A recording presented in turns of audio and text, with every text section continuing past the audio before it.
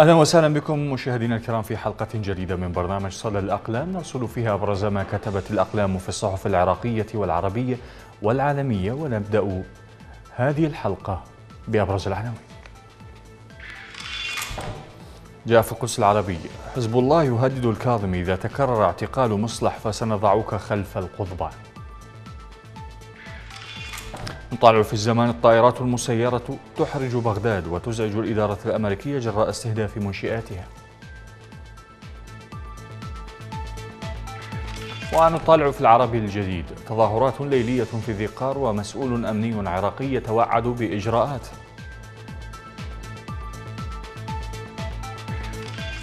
جاء في موقع الحرة أربيل تحذر من مخطط لحزب العمال لزعزعة استقرار كردستان العراق. نتصفح في العرب اللندنية حيث جاء فيها انتخابات نيابية في الجزائر على وقع الاعتقالات والتضييق الأمني. ونقرأ في الشرق الأوسط أمريكا ترفع بعض العقوبات عن إيران في مجال الطاقة.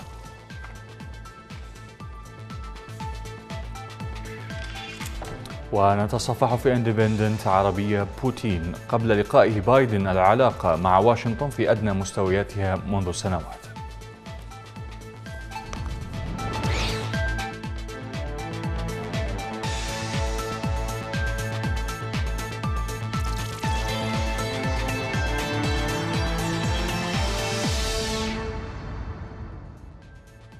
أهلا بكم مشاهدينا الكرام.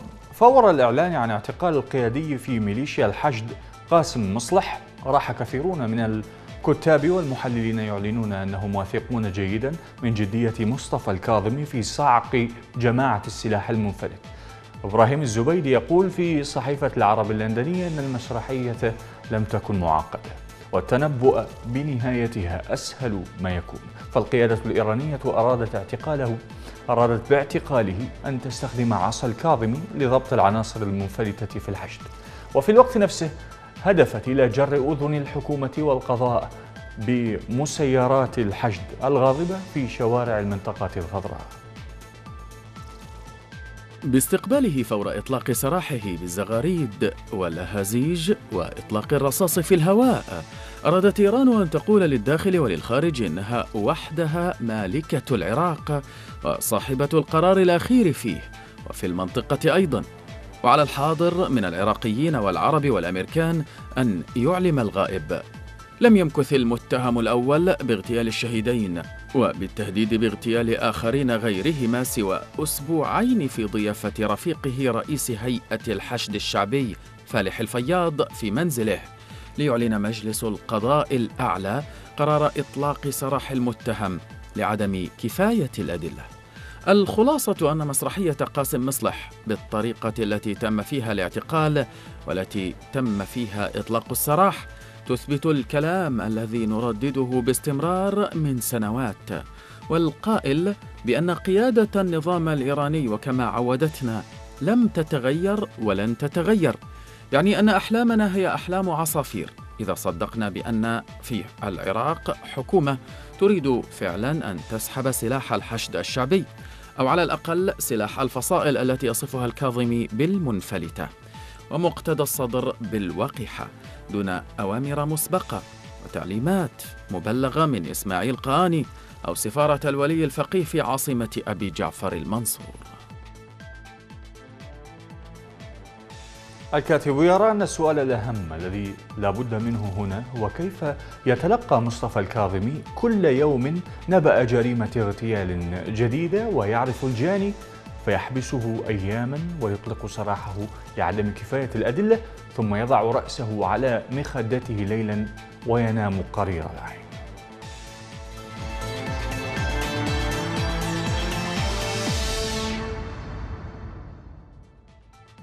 قال صحيفة اندبندنت عربية أن إطلاق سراح القيادي في ميليشيا الحشد قاسم مصلح زاد مخاوف الناشطين العراقيين وقوض سلطة الحكومة بنظرهم. وأضافت الصحيفة أنه بعد الإفراج عن مصلح تتزايد التساؤلات في العراق بشأن مدى إمكانية إيفاء الحكومة بتعهداتها. إزاء الشارع خصوصا فيما يتعلق بملف قتلة الناشطين وعمليات الاغتيال المستمرة في البلاد. وما إذا كانت ستتمكن من تجاوز الضغوطات الكبيرة التي تمارسها الميليشيات في تلك القضايا. الصحيفة قالت إن مخاوف المحتجين العراقيين عادت إلى الواجهة مرة أخرى بعد بادرة أمل أحدثتها عملية اعتقال مصلح. ويتحدث الناشطون عن أن هذه الحكومة أخفقت في تحقيق كل التعهدات التي قطعتها على نفسها. وعلى رأسها محاسبة القتلة وتقويض نفوذ الميليشيات على الدولة. وأشارت الصحيفة إلى أن خبر إطلاق سراح القيادي في الحشد الشعبي كان له وقع كبير بين أوساط الناشطين حيث رأى قسم كبير منهم أن الميليشيات نجحت بالضغط مرة أخرى على الحكومة لتقديم تنازلات للسلاح المنفلت. ولفتت الصحيفة إلى أن إطلاق سراح مصلح يأتي بعد أسابيع من حملة واسعة.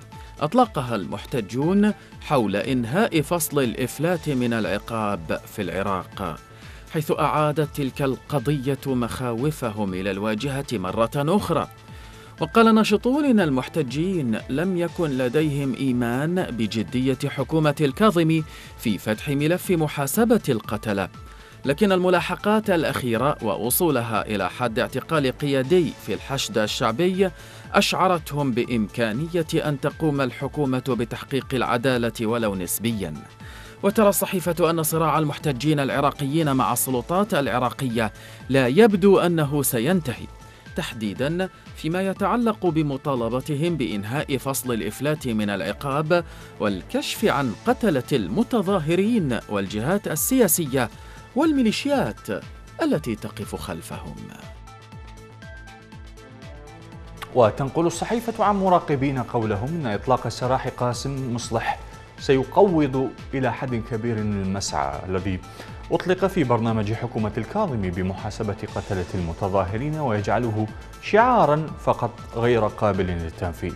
كما أنه يمثل رسالة واضحة للضعف والخضوع من قبل الحكومة. مشيرين إلى أن الرأي العام العراقي بات ينظر إلى الحكومة بأنها عاجزة عن مواجهة الميليشيات.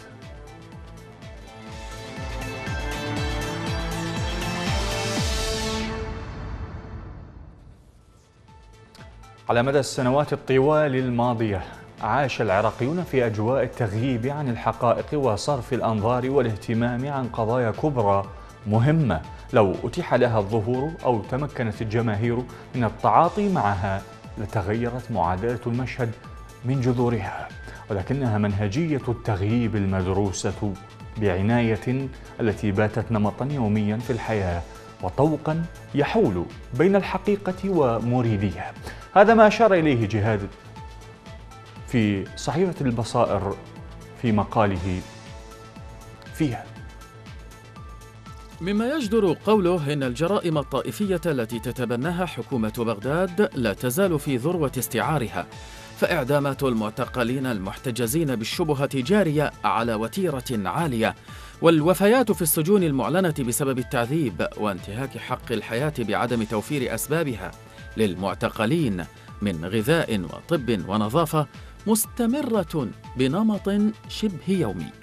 والاغتيالات المنظمة والاعتقالات الممنهجة والتغييب القسري وسائل لم تكف الميليشيات عن استخدامها من أقصى محافظة نينوى شمالا إلى أدنى البصرة جنوبا وعن ديالا وأحزمة بغداد في جهاتها الأربعة فيمكن للمرء إزاء الانتهاكات والجرائم والمنهجية الطائفية بكافة أشكالها وصورها أن يحدث عنها ولا حرج. أما الاستيلاء على الأراضي وتطور مشروع التغيير في تركيبة السكان في مناطق معينة واستيراد مشاهد غابرة في التأريخ لتوسيع حجم الفوضى الطائفية وتنامي التحريض بأساليب رخيصة والعمل المستمر في دعم أدوات الإفساد في المجتمع وإعداد معاول هدم القيم فهي مشاهد لم تنقطع. ويجري اليوم إعادة استخدامها لتكون سلاحا مضادا لثقافة الوحدة الوطنية ومقاصدها المفضية إلى الإصلاح والتغيير والتي عادت ثلة من جماهير الشعب العراقي وشبابه لإحيائها في أطر الحراك الجماهيري وحركة الاحتجاجات التي شهدتها ثورة تشرين. الكاتب جهاد بشير يرى أن ما يجري في العراق يوجب التحرك الذاتي والمجتمعي في نفس الوقت على حد سواء. دون مماطلة أو تأخير وليكون زوال النظام السياسي وإسقاط السلطة الفاسدة فيه أولوية متقدمة على ما سواها. لأن بقاء الحال على ما هو عليه يعني اتساع رقعة الجاهلية السياسية والفكرية التي تغور في غياهبها. كافة أحزاب السلطة فتنتج فشلا وتخبطا وفسادا. لا نجاح فيه إطلاقا هذا التخبط. سوى إتقان الفساد واحتراف طرق الاستحواذ والسرقة وتحصيل المكاسب.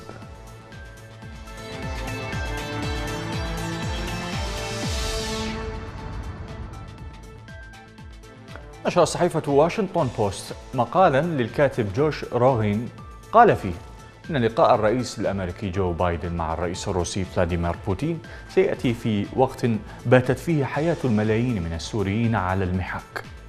وأضاف الكاتب أنه إذا توصل الرئيسان لشكل من أشكال التعاون في الموضوع الإنساني في سوريا فستكون إشارة عن الجهود المشتركة بين البلدين وستزيد من آمال ملايين الناس الذين يعانون. وفي حالة أصر بوتين على تجويع السوريين فعلى بايدن التقدم ومساعدتهم الكاتب يقول إن هناك ثلاثة ملايين معظمهم من النازحين في داخل بلادهم تجمعوا في محافظة إدلب وهم جوعى وبحاجة ماسة للمساعدة وعرضة للقنابل التي يطلقها الجيش الروسي وجيش النظام. ويحاول بشار الأسد وشركائه الروس والإيرانيون ارتكاب الكثير من جرائم الحرب. لكن سلاح الجوع والحرمان من الطعام هو الأقوى والذي استخدموه كوسيلة لكسر إرادة السوريين الذين يعارضون النظام. وتهدد روسيا الآن وبشكل مخجل بإغلاق آخر معبر للمساعدات الإنسانية والذي ينقل من خلاله الطعام والدواء إلى أجزاء سوريا التي لا يسيطر عليها الأسد. ولو لم توافق روسيا بحلول العاشر من تموز المقبل على قرار لمجلس الأمن الدولي يصادق على المعبر من تركيا الذي يطلق عليه باب الهوى فإن السكان المحتاجين سيواجهون مصيرا رهيبا حسب ما تقول منظمات الإغاثة الإنسانية. ويرى الكاتب أن أجندة بايدن بوتين ستكون مزدحمة لكن الجزء السوري فيها يعد رئيسيا للطرفين مع اقتراب الموعد النهائي لإغلاق المعبر.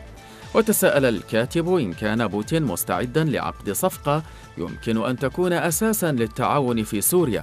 وهل إدارة بايدن مستعدة في الوقت نفسه لجعل الموضوع أولوية والضغط بشدة على الروس؟ لا رشوتهم من أجل عمل ما هو صواب. الكاتب جوش روغين يرى أنه في حالة رفض بوتين التعاون مع بايدن في ملف الإغاثة الإنسانية فستواجه الولايات المتحدة وشركاؤها بمن فيهم تركيا تحديا كبيرا للعمل خارج نظام الأمم المتحدة ولتوفير الإغاثة لإدلب لكن يجب أن يكون هذا هو الواقع الذي على أمريكا تحضير نفسها له الآن. والتحضيرات هذه ستزيد من نفوذ الولايات المتحدة أمام موسكو.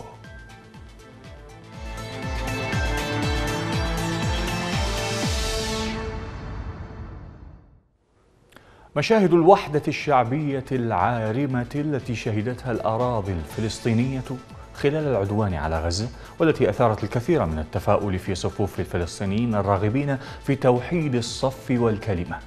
لم تدم أكثر من أيام عدة بعد نهاية العدوان. حسام كنفاني يرى في صحيفة العرب الجديد أن الحسابات الفصائلية ما لبثت أن عادت لتتصدر المشهد السياسي الفلسطيني من جديد.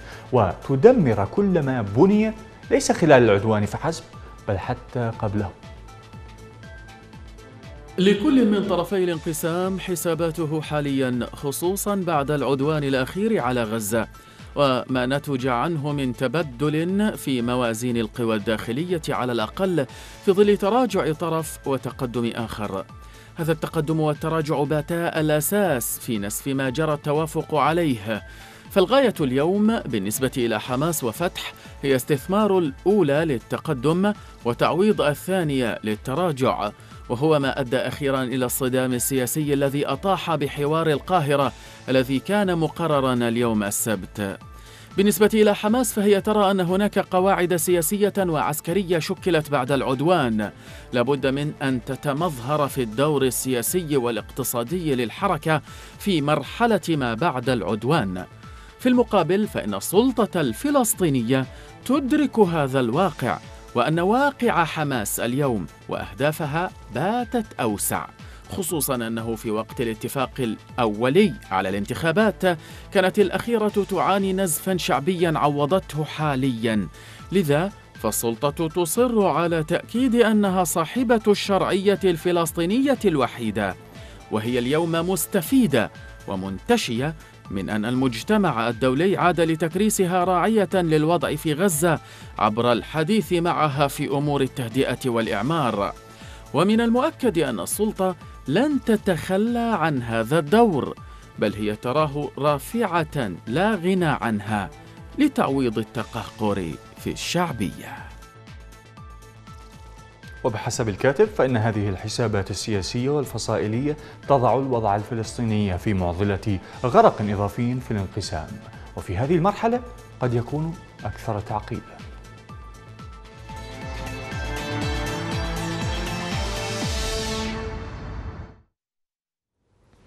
قالت مجلة التايم الأمريكية أن شركة فيسبوك تركت عشرات الصفحات التابعة لجماعة هندوسية متطرفة تبث خطابها المعادي للأقلية المسلمة في الهند شهورا رغم أن الموقع حظر دون إثارة ضوضاء أو نشر بيان حسابات الجماعة الرئيسة في سبتمبر أيلول الماضي بسبب انتهاكها سياساتها.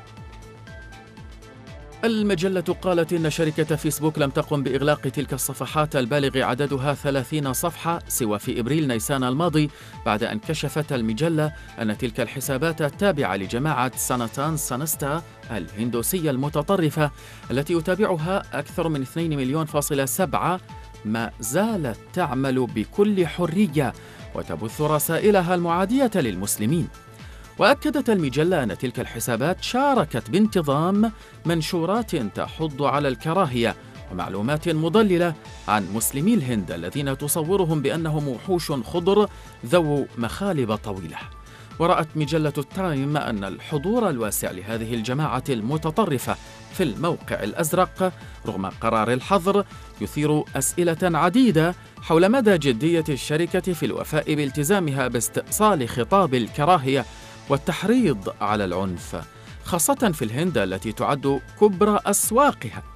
وتضيف المجلة أن هذه الواقعة نافذة لفهم كيفية تأثير الضغط السياسي على أساليب وطرق مراقبة ومتابعة فيسبوك وغيرها من منصات مواقع التواصل للجماعات المتطرفة. وتؤكد المجلة أن شركة فيسبوك التزمت على الصعيد العالمي بمحاربة خطاب الكراهية على منصاتها وحظر أي مجموعات تتبنى العنف منهجا أو تشارك في أعمال عنف. لكن في الهند قد يعرض استهدافها للحكومة القومية الهندوسية الحاكمة طموحاتها التي تعادل مليارات الدولارات للخطر.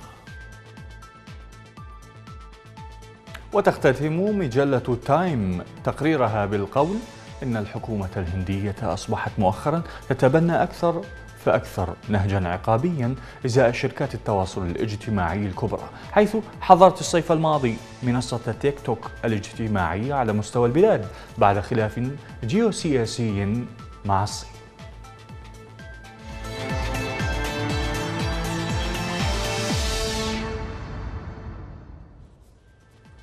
بعيدا عن السياسة وفي خبرنا هذا لم يدر بخلد المسن الصيني لو أنه سيقابل ابنه فو الذي خطف قبل حوالي ستين عاما في رحلة بالقطار عندما كان عمر الابن لم يتعدى بعد العامين.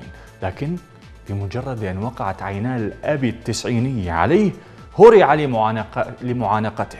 وأضاع آه، لو ابنه في العام 1963 عندما كانا ينتظران قطارا بمدينة تشينغ تشو حيث يعتقد أن مهربين اختطفوه وأخذوه في شينجهاي وباعوه هناك لعائلة تبنته ولم يفلح الأب طوال سنوات من البحث في الصحف ووسائل الإعلام من الوصول إلى نتيجة ولكنه لم يستسلم فقد أطلقت الشرطة في العام 2015 حملة للبحث عن فو بالاعتماد على قاعدة بيانات ضخمة للحمض النووي.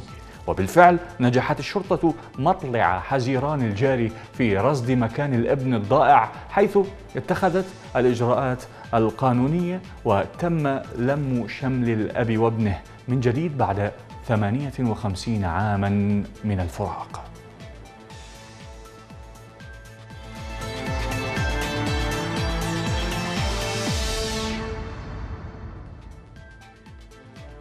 متابعة ممتعة مع الكاريكاتير